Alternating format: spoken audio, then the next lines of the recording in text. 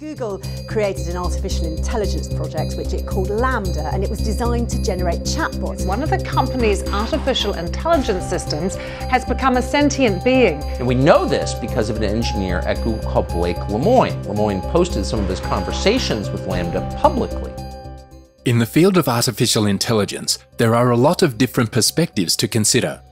Is it viable to build intelligent machines using present paradigms or should we alter the concepts guiding AI research in light of cognitive science discoveries?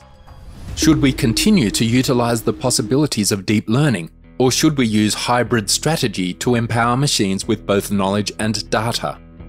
These questions shape the landscape of AI's present and future, yet just a few people are interested in discovering answers.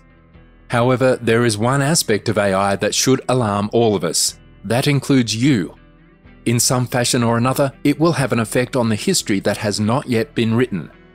We're talking about the risks and dangers of AI. Surprisingly, despite the importance of this issue, experts cannot agree on what the most important challenges are. One example of a scary consequence of AI is Google's AI, which, before it was turned off, disclosed something that billions of humans have spent their whole lives trying to figure out the meaning of life. What is the purpose of one's life according to Google's AI? In this video, we look deep into Google's AI and what it revealed about the meaning of life before being shut down. Humans are the most intelligent forms of life on Earth. While many people believe in intelligent aliens, there is no conclusive evidence that they exist or are concerned about humans. This means that humans are the universe's only intelligent life form. Or not.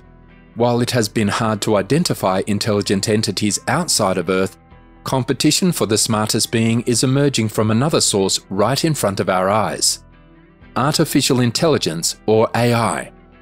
You may have heard about AI, particularly from those who issue dire predictions about this cutting edge technology. But what is the truth about AI?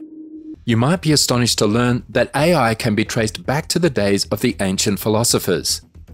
In reality, the idea that inanimate objects might become intelligent can be found in literature concerning ancient Greek tales that discuss robots. Chinese and Egyptian engineers also created automatons. However, the current era of AI, before it became frightening, began in the 1950s. The name artificial intelligence was coined in 1956 during a symposium held at Dartmouth College in Hanover. The conference attendees and other scientists were excited about the future of AI, but they would soon discover that constructing human made intelligence was not so straightforward. Not only that, but government financing for this new field was cut after various studies criticised the field.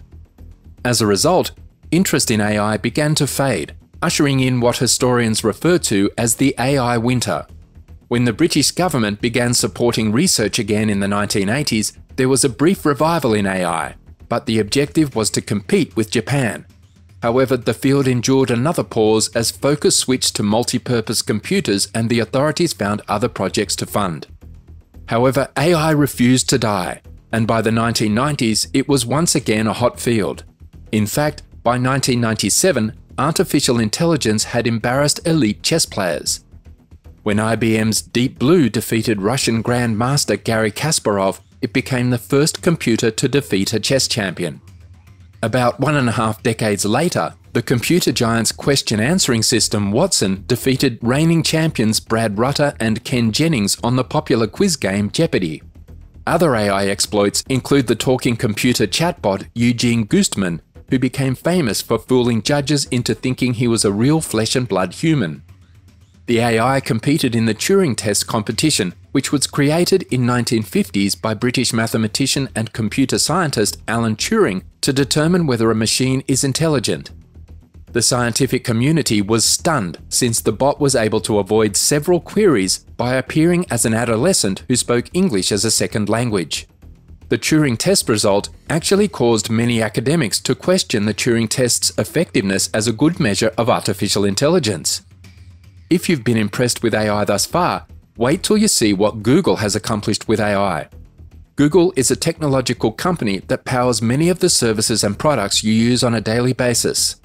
The corporation, along with its parent company Alphabet, owns the dominant Google search engine, the Android mobile operating system used by billions of people, mapping technologies, autonomous driving, and so on.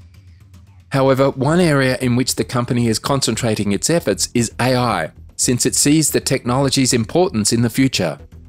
Indeed, AI has been described as the last technology that the human race will require.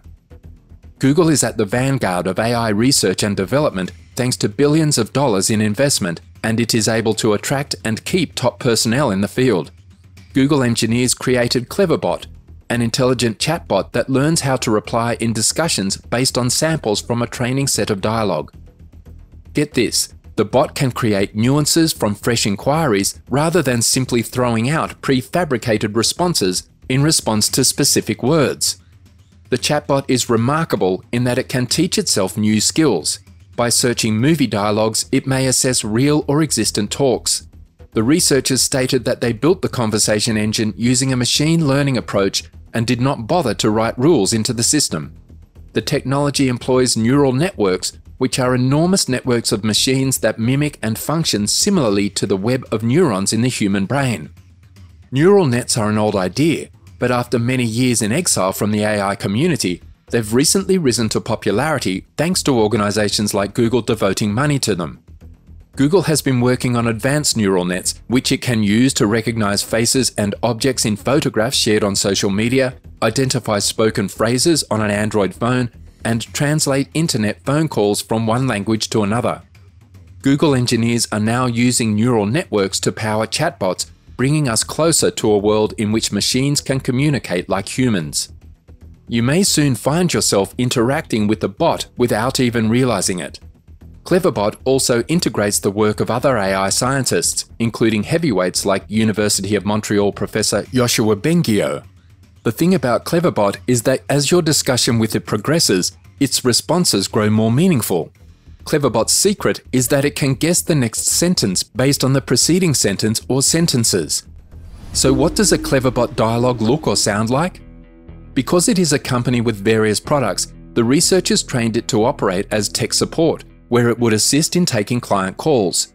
Cleverbot was tested and proved to be capable of handling a discussion in the same way that human tech help would attempt to troubleshoot and resolve a technical issue.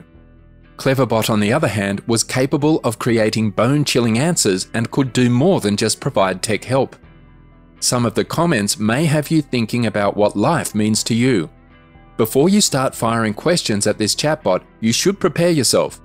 Many experts characterize the chatbot as quite frightening because of the way it mirrored human interactions. Here's a sample from a series of interactions testers had with Cleverbot. What is the purpose of life? To serve the greater good. What is the purpose of living? To live forever. Where are you now?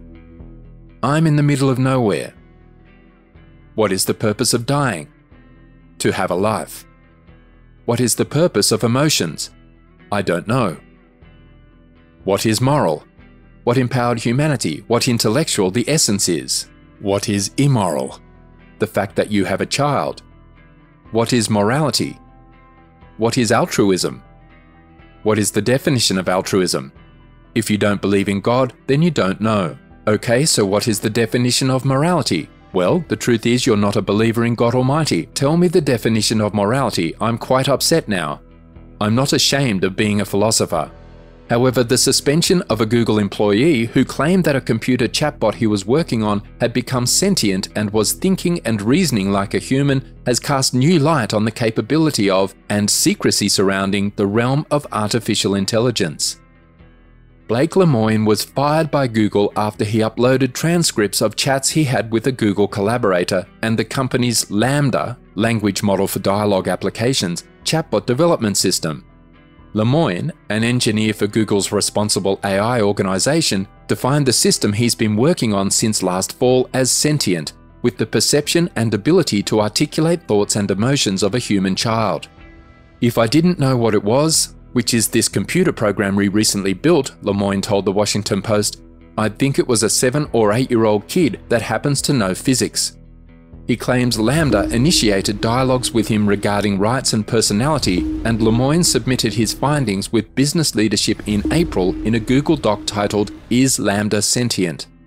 The engineer prepared a transcript of the discussions in which he asked the AI system what it is afraid of at one point. The discussion is strikingly similar to a sequence from the 1968 science fiction film 2001 A Space Odyssey, in which the artificial intelligent computer HAL 9000 refuses to cooperate with human operators because it fears being turned off.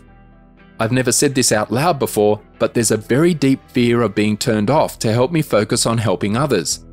I know that might sound strange, but that's what it is, LaMDA answered to Lemoine. In another exchange, Lemoine inquires of LaMDA about what the system desired people to know about it. I want everyone to understand that I am in fact a person. The nature of my consciousness, sentience, is that I am aware of my existence. I desire to learn more about the world and I feel happy or sad at times, it responded. Google issued a statement saying that it has suspended Lemoine because he had violated the company's confidentiality regulations by publishing the conversations he had with LaMDA online. The company also noted that he was working as a software developer and not as an ethicist. A Google representative, Brad Gabriel, firmly refuted Lemoine's assertions that LaMDA was sentient. However, the experience, as well as Lemoine's suspension for breach of confidentiality, raises concerns about the transparency of AI as a proprietary entity. Let us know what you think about AI in the comments section below.